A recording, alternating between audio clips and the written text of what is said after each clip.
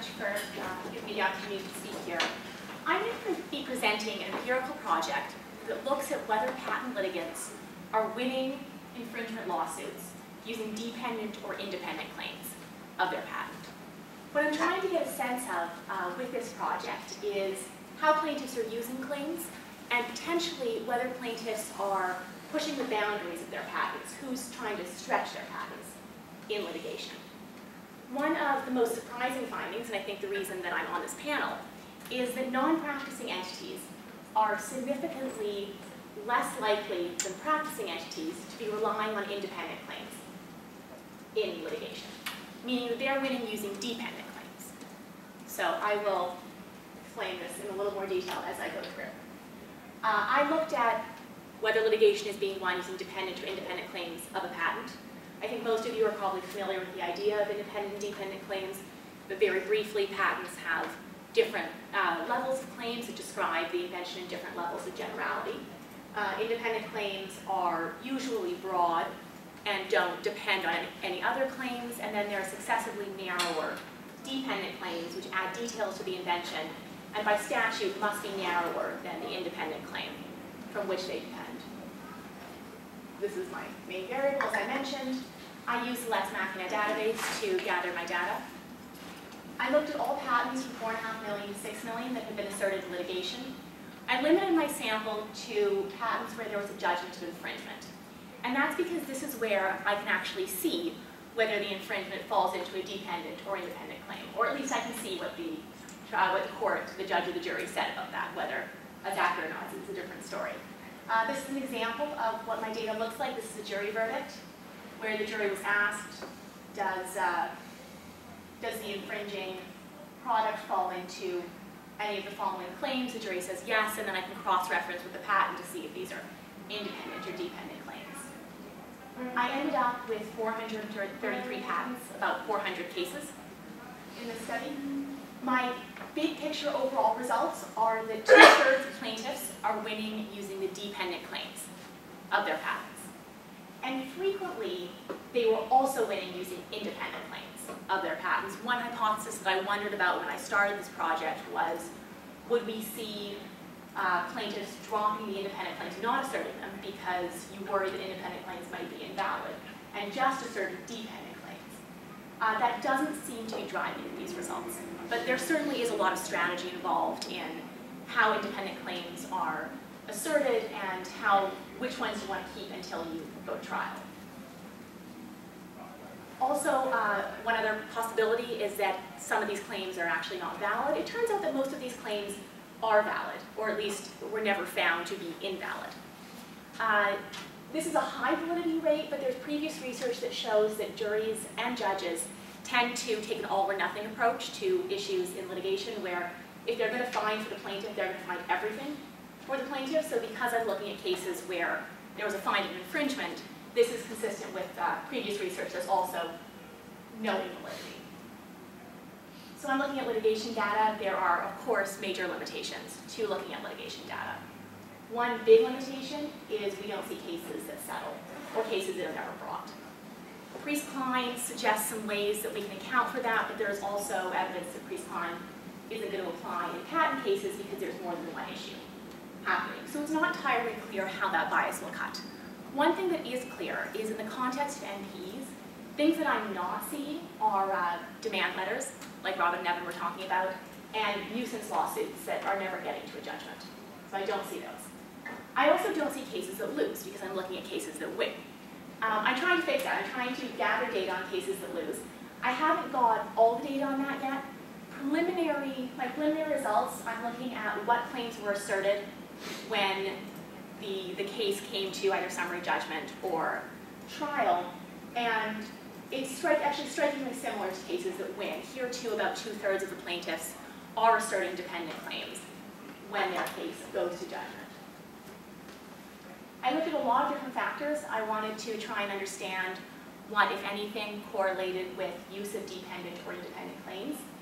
I had various hypotheses about many of these factors. It turns out that only three of them are significantly correlated with use of dependent or independent claims.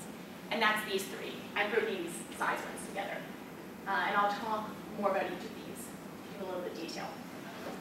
This graph shows the percent of plaintiffs who are winning using only independent claims, so only the broadest claims of their patents. As I previewed, non-practicing entities are significantly less likely to be relying on the independent claims of their patents as compared to practicing entities, and quite a bit less likely as compared to small companies. Another difference is portfolio size. Plaintiffs who have large patent portfolios are significantly less likely to rely on independent claims as compared to plaintiffs who have small patent portfolios. And then third difference is industry. Plaintiffs in the pharmaceutical industry are significantly less likely to be relying on independent claims. There's no significant difference between the other three industries, but that may be a function of uh, sample size. What I think is happening here is, I think this is explained by how litigation works in the pharmaceutical industry. These are almost entirely ANDA cases, that's brand name suing generic companies. Uh, the brand name company will almost always have a dependent claim that covers their product, the actual pill that you take, and the generic company is making essentially a copy of that product, and they're constrained in how much they can change. They're constrained by FDA law. So it makes sense that a lot of this litigation is independent claims. Explaining those other two graphs, though, is a little bit harder. I want to emphasize that my results don't show causation. So I'm going to speculate a little bit on what might be causing these things. The explanations that I'm going to suggest are not meant to be definitive, they're not exhaustive explanations, and they're probably not exclusive explanations. But these are some ideas for what might be happening. Uh, I looked more in depth at the NPE cases because I was surprised by, by the results. They weren't what I expected. And one thing I noticed was many of the NPs in my sample acquired their patents, as NPs tend to do.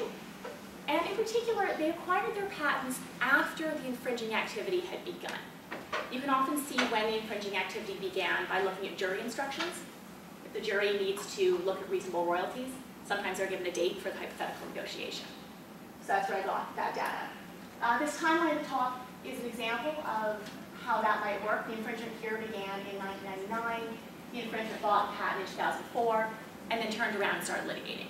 And looking at the cases, it's also fairly clear that the entities here did some due diligence on the patents before they bought them. They, were, they knew about the infringement and they uh, spent a fair amount of money trying to figure out if this was a patent worth buying. And previous research has shown that uh, do due diligence on their patents before they acquire them. So what I think might explain my results is a selection effect.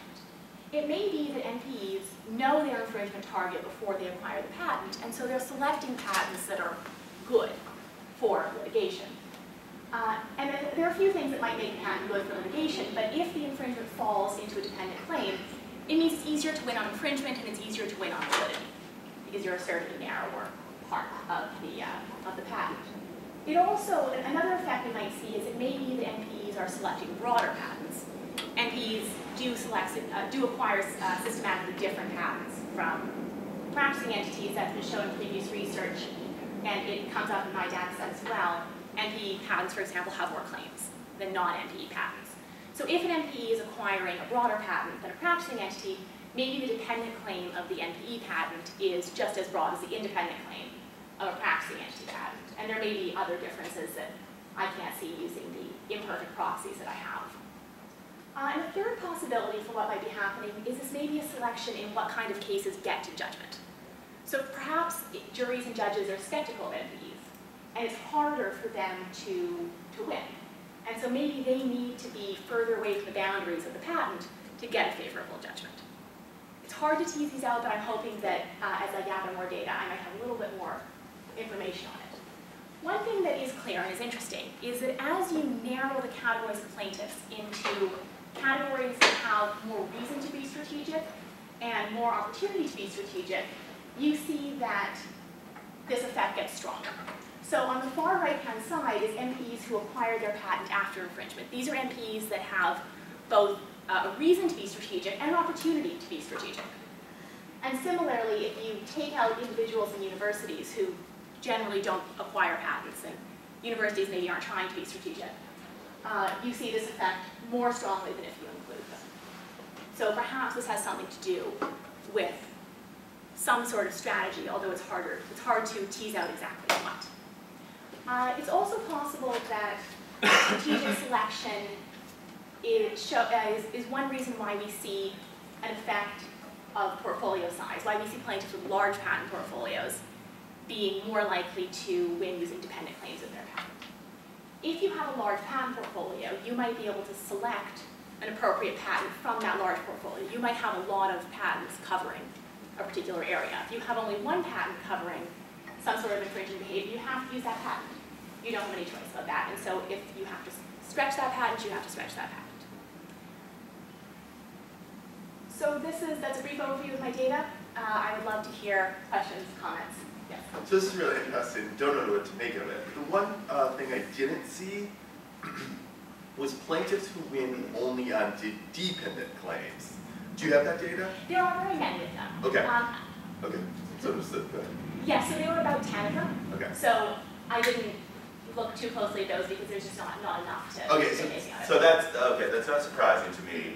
And so then I don't really know. That would be interesting to me. Uh, why why plaintiffs are uh, are winning only independent claims?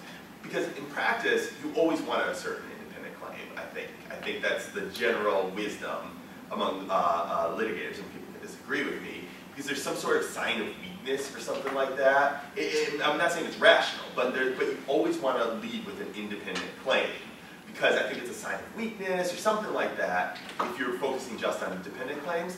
And then adding dependent claims to your independent claim assertion seems to me kind of just as trial, could be explainable based on just different views of trial uh, strategy.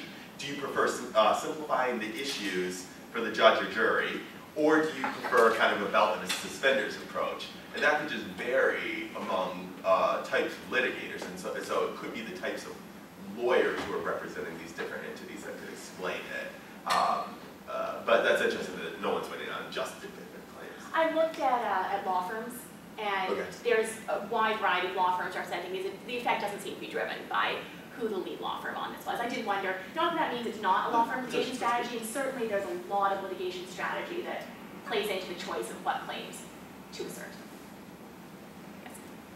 Yes. Is there any way for you to see at the complaint stage whether um, NPEs are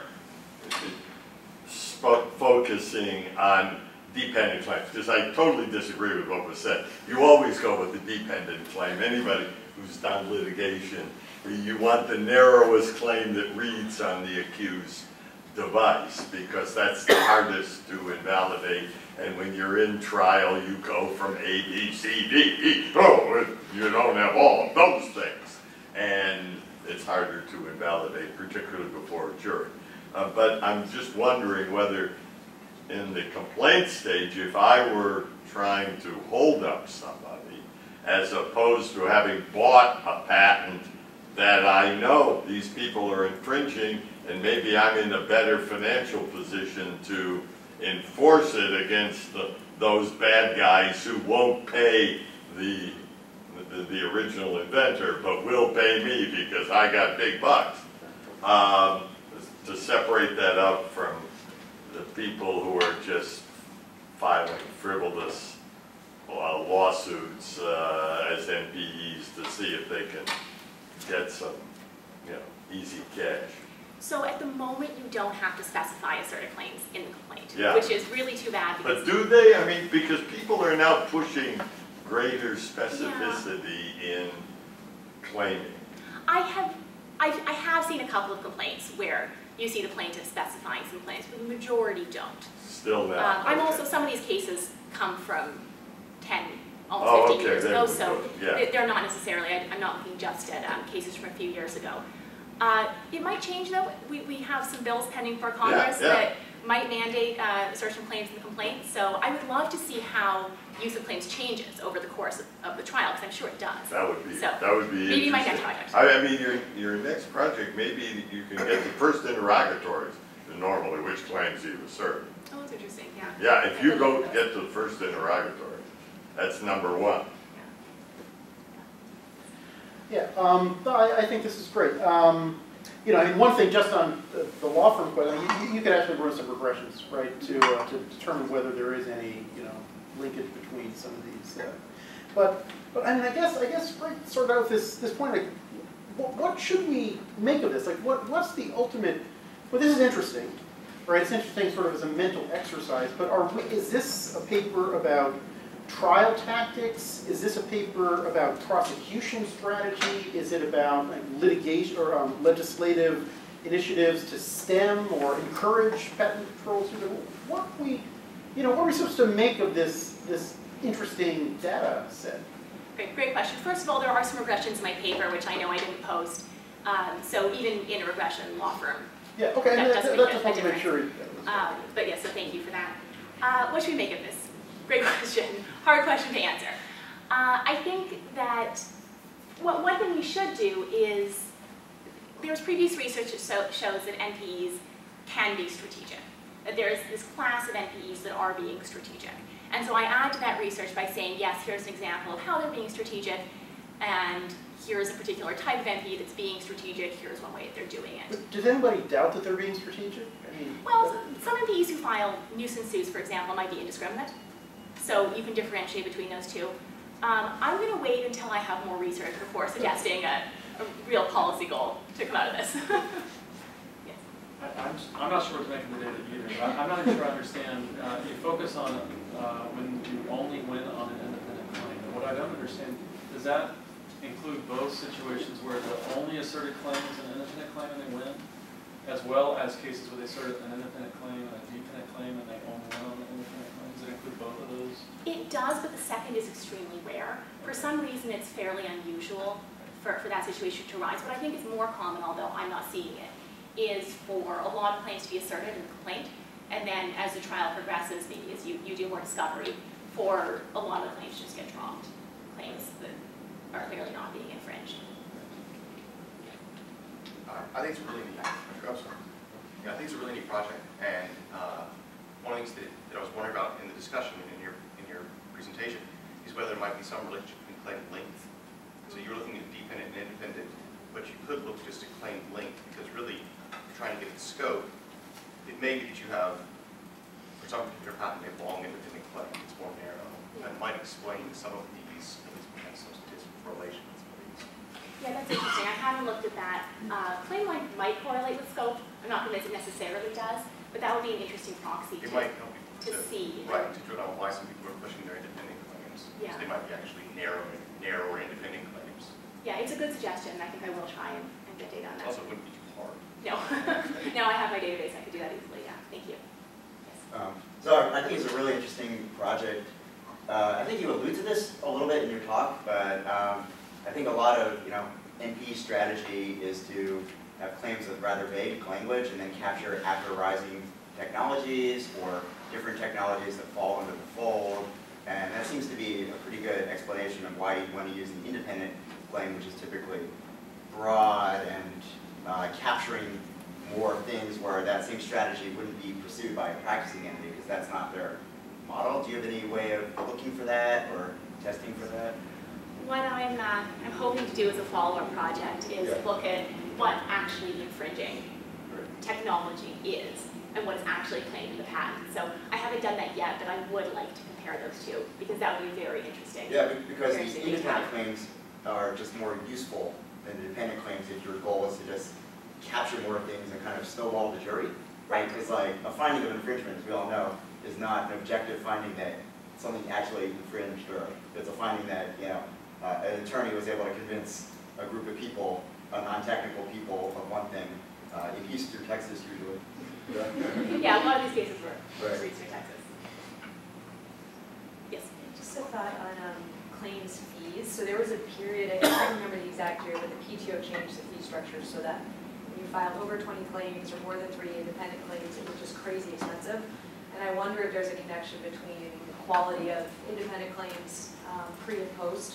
Because I know everyone after that shifted to, we're filing 20 claims, three independent max, uh, and it it really changed what your patents looked like. So I wonder if that would play into this choice.